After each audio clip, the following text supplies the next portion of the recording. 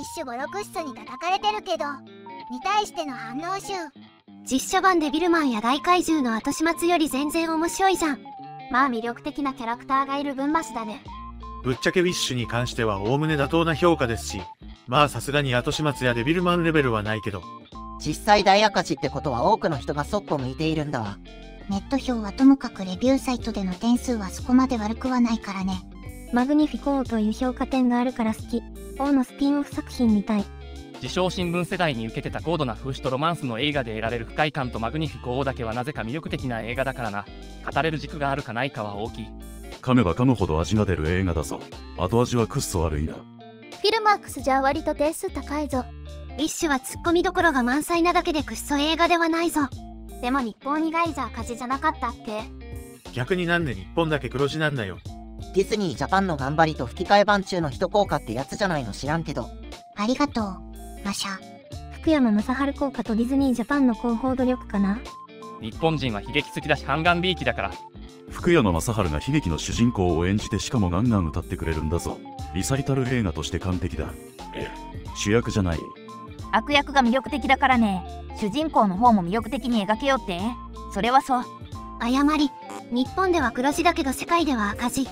正解。日本では売れたけど世界トータルで見たら赤字。多くの人のハードルを超えれなかっただけで見れる映画ではある。高予算ディズニー執念などの要因で波の映画よりハードルが高いし。マグニフィコしてんだらっていう楽しみ方もあるし。どう考えてもデビルマンや怪獣の後始末に比べて期待値が大きくなってしまうディズニーだからってのも、ここまで騒がれる原因だと思う。それでもさすがに旬は過ぎたネタに感じるけどね。あまりにも色々ずさんな作品なだけでマグニフィコ王は良いキャラだからな。そこだけでそれらのクッソ映画を凌駕していると言っていい。話すことがいっぱいあるからなツッコミどこも盛り上がるタイプのツッコミどころだし仮にもアニメ殿下のピクサーの比較対象がそこらになったらもう終わりなんよ。もうそんな粗大 5P と比較されてる時点で落ちぶれたもんだなってなるそんじょそこらの会社じゃなくて、あのディズニーがくっそ映画作った。って前提があるからな。ただのつまんない作品だったら今までにもあったし話題にもならず終わっただろうけど倫理観ぶっちしたままフォローなしで終わるのはちょっと芸術が過ぎる魅力的なキャラを出したという一点のみで評価されるが作ってやるだろうミッシュはそれディズニーがそのあたりと並べちゃダメだろ。もはや比較対象がゴジラじゃなくなってるの悲しい。ウィッシュいいところ結構語れるがほぼ王様関連だわ人類史における人間そのものを描き、複雑な現代社会を表現した傑作だぞ。ここで、100周年記念作が描くディズニー映画の本質というネット記事が紹介されていました。よろしければ概要欄をチェックしてみてください。これ別の映画作った時の記事じゃないさすがに言ってる内容が的外れすぎる記事タイトルは、100周年記念作が描くディズニー映画の本質。CCO が語る新作ミッシュで伝えたい思いだよ見てきたどうもすみませんでした対話を通して世界は繋がることができる。そうなのかな？お前は自分が、ウィッシュはクッソだ、という話題でどれだけの人と繋がっているか分かっているのか。やばい。あの映画のどこに対話を通じて世界がつながる要素があったんだ。歌を歌ったら勝手に団結して対話すべき存在とたもとを分かって一方的に攻め立てただけじゃん。随分と小さな世界イッツスモールワールドだな。ディズニーだけに。マグニフィコは選択を誤ったリーダー失格の男で対話する必要なんてなかったんだアナーキスト。映画の話するならマグニフィコ王以外は正直無味無臭の薄い映画だけどマグニフィコ王でかろうじて見れる映画になってるし。演技が 5P の実写でビルマンや特撮を馬しかにしてるとしか思えん後始末よりはマシ。作中で一番掘り下げられてるのがマグ王周りなのでどうしたってマグ王ファンが増えるしこの主人公なんなの？って感想も出てくるだけという年を重ねているけどイケメンな造形に魔法使いとしての実力を努力で勝ち取って。ナルシストなのが欠点だけどそれもキャラクターのしての面白さにつながってて、福山氏の演技と担当した二つの歌も良くて、王様ならいっぱい褒められるところがあるな。擁護してるように見えて全く擁護してないスレタイ。くっそ映画というよりツッコミどころが多い上にキャラのヘイト管理が完全に逆転している。まあ一昔前のジャーケンもトギの方が悪人扱いされていたのだし。チャーケンは放送時間5分しかなくて説明不足でトギが最古にしか見えなくてネタ扱いされてたとこあるから。ただ容赦のなさは理解も納得もできるものの怖いっちゃ怖いよね小学生なのに見てて思ったより普通にかっこよかった Once Upon a Studio はエルサ以外は完璧な作品だったのに、ウィッシュはどうしてこうなってしまったんや。登場人物たちの倫理が終わってる金かかった Z 級映画になぜか一人だけディズニー名作作品から紛れ込んでしまったキャラな。マグニフィコがいるという摩訶不思議な出来栄えの映画だよねこれ。デビルマンは演技と展開が雑なだけで原作改編はしてないからクッソ映画としてはマジで上積みなんだぞ。マグニフィコ王がいなかったら多分アトランティスみたいな扱いだったと思う。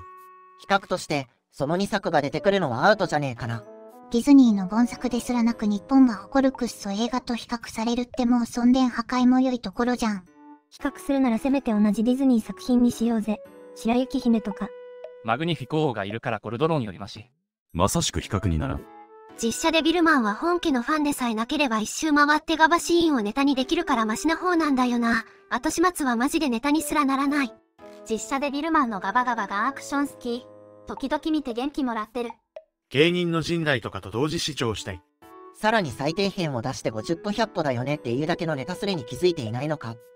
さすがにその2作はレジェンド。王が魅力のないキャラだったら、そこに並べてもよかったかもしれない。あんま関係ないんだけどアーシャの体つきむちゃくちゃエピークなかった。ディズニーの最新 3DCG がすげえし、見に行った価値あったなと思ったんだけど。見る価値あるには同意かな。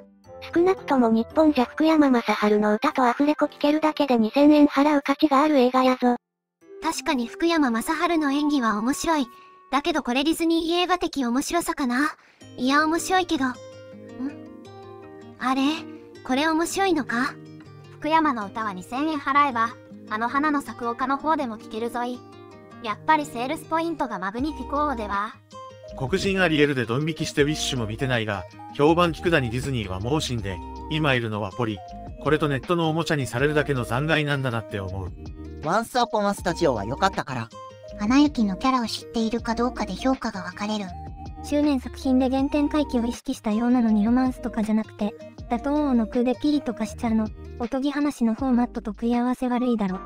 昔の黒人が主役のディズニーアニメ映画は普通に面白かったのにどうして？モアナは有色人種であって黒人ではない定義。どのくらい正しいのかは知らんけどアーシャがベルベル人でユダヤ人と言われているのが本当なら、アーシャも黒人とは言い難いからな。ディズニーやポリにとっては肌が黒けりゃ全員黒人なんだろう。ここからヨーロッパとユダヤ人、ベルベル人の歴史といった話題が続きます。長いのと諸事情で割愛しますので、興味がある方は元スレッドをご確認ください。実際海外でもウィッシュチャレンジ流行ってるぞ。YouTuber によるリライト動画がめちゃくちゃある。完全に罰ゲーム扱いで笑う。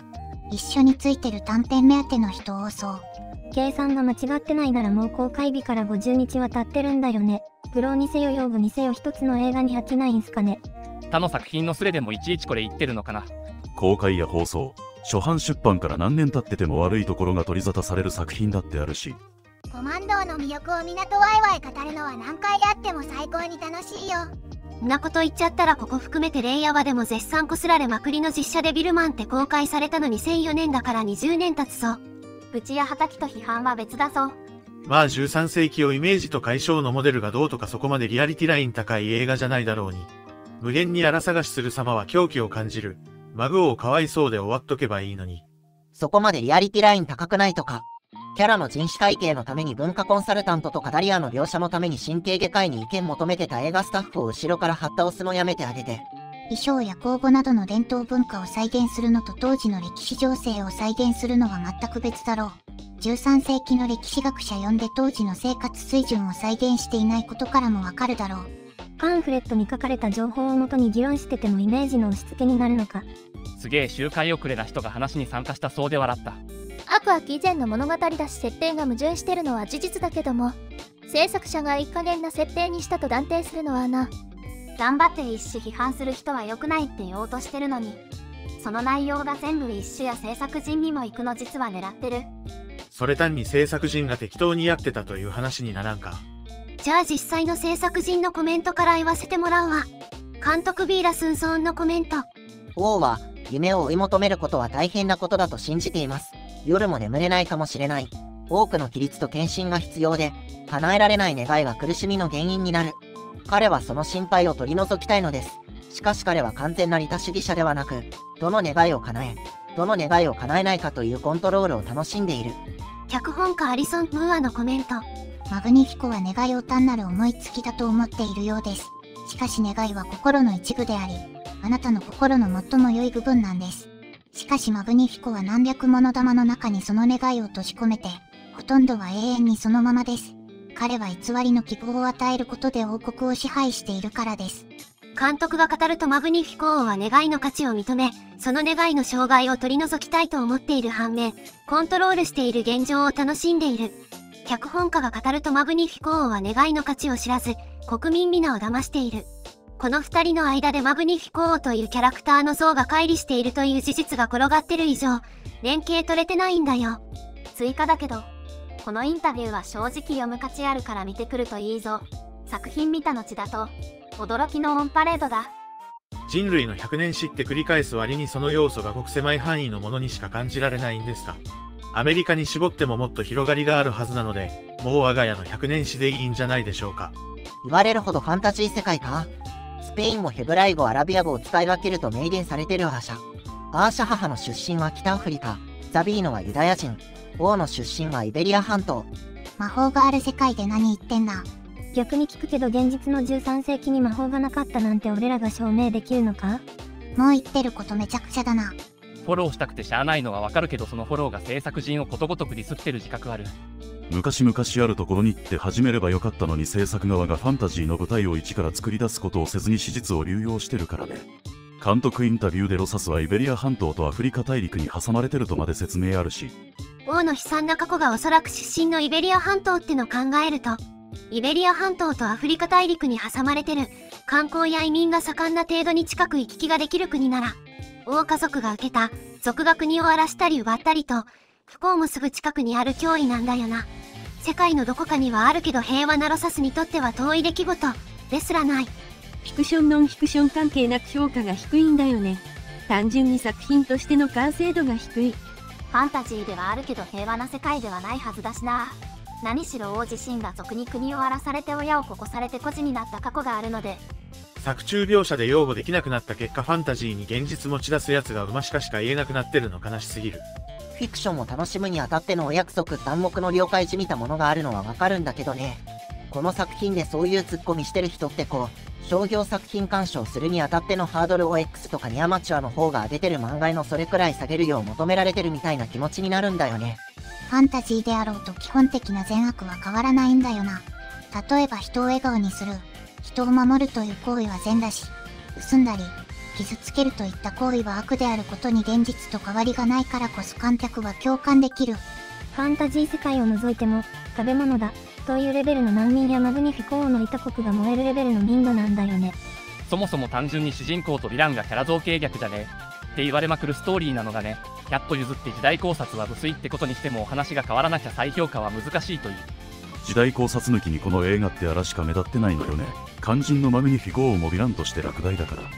国外には普通に不幸の種がある中で観光の商売できる身分高くは情けな民の家でお菓子やら本やらが結構あるくらいは豊かな国を作ったマグニフィコ。ってのは変わらないしね。休日の趣味がボランティアは落第どころか大学級だよ。それは日本語吹き替え版だから、英語では休日のストレス発散に愚痴聞いてくれるだけだぞ。変わらず退学だよ。愚痴を聞くなよ。ヴィラン学会からの永久追放が決定しました。違うよ該当箇所の歌詞は、もし君の家が壊れたり困ってる時は、私が真っ先に手を貸そう。だよ。王様、そんなんでどうして採用それヴィラン名乗ってるの？採用それのヴィランは制作者側がそう言っているのか、日本ディズニーが宣伝で言ってるだけなのか、検索しても宣伝の煽り文句として出てくるので、少し疑問。採用それの部分なしで、ヴィランだけにしてもおかしいはおかしいんだけど、英語ではすごく強いみたいなニュアンスだそうな。それを日本向けに採用それとしちゃったとか。どっちにしても人間レベルでは強いかもしれないが人外ヴィラン含めるとトップクラスに引っかかるかどうかでは、になるんだがね。愚痴を聞くっていう歌詞は日本語の、どんな問題も私が解決しよう、のところで、君の散らかしたもの、混乱は全て片付けよう。悩みを吐き出したい時はいつも側にいるよ。しかしまあこうやって、僕の認めた感想しか語っちゃダメ。って暴れる人がいると人の心を操る願いの危険性もわかるって問題。マグニフィコ王、お前もヴィラン降りろ。王様ヴィランなしからぬところだけどんどん解像度上がっていくな。ヴィランとしての才能ないから船降りろ。ここで、別のスレで投下したインタビュー紹介するよ。ここでウィッシュに関するネット記事が紹介されていましたよろしければ概要欄をご確認くださいマグニフィコーはディズニー作品のいわゆる古典的なヴィランですが、最初からヴィランとして登場するのではなく、まずはパワフルでチャーミングなキャラクターとして観客を魅了し、それから彼がどんな風に道を踏み外していったのかを追うようにしました。監督のインタビューを聞いていると、まあ描きたかったことはわかるし、マグニフィコの闇落ちも狙ってやったみたいではある。少なくとも監督は全体的な出来の悪さやマグニフィコ以外のキャラクターの魅力が伴わなかったことは、どうにもならんし擁護しかねるが、マグニフィコというキャラクターを造形したことについては、評価したいと自分は思っている。うーん。意図があるのは分かったけど、あんまり腑に落ちた感じはしない。アーシャはこれまでのプリンセスとは違って自分の願いではなく他者の願いを叶えるキャラ。これはまあいいけど実際作中で必死に叶えようとしてたのは身内であるじいさんの願いだし。リアルである必要はないが、リアリティはないとダメって話。まあ、ここで言われる王の美点はつまりヴィランになる前のものでそんな彼が道を踏み外しを恐れるべき悪党となった。と考えるとヴィランとしての評価は禁書に手を出してからになるよね。道を踏み外した理由がまあその、主人公陣営側にあるけど。悪落ち後にヴィランになっても威力の低い魔法ばっかり使うので、そういう意味でもヴィラン向いてないおじさんが精神の限界の果てに狂乱してる風にしか見えないのが辛い。かなりのファン層できたからカリスマはあるけど、これは決して悪のカリスマではないんだよな。やりたいことチェックリストを優先した結果、本来の設定やキャラがないがしろにされてちぐはぐになった感じがするな。後対話がテーマの一つのはずなのにスターを喋らせなくして、スターが何を考えているのかを読み取ろうとする面白さ。って、何言ってんだか。時間もないのに思いつきで路線変更をやってたら、空あらばかりの作品になるよ。王様は魅力的なメフィストフェレスではある。ふと思ったんだけどさ、人種と性別、思想って点で主人公のアーシャの言い分が全て正しいって監督は思ってるわけだけど、逆に白人、男性、既婚者、資産家、理系どれか一つでも当てはまるなら、どれだけ足様に描写しても構わないし、どれだけ相手が自分たちに理解示そうと、逆に自分たちが歩み寄るつもりはさらさらないって感じになるんだよな。以上で終わりです最後までご視聴くださりありがとうございました。